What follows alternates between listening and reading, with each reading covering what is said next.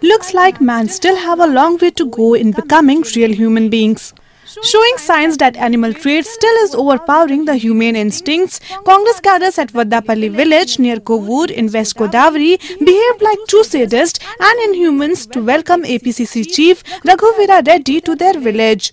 When Reddy entered their village, the overwhelmed Congress cadres welcomed him by firing live pigeon rockets.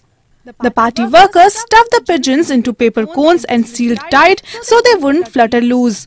A man then lit the fire by a beedi he was smoking, setting the pigeons into the sky. The idea was to see the cracker burst high in the sky and the pigeons fly free. But the intense heat produced by the cracker burst killed the birds and they fell to the ground. Raghuveera Reddy was present there when the incident took place.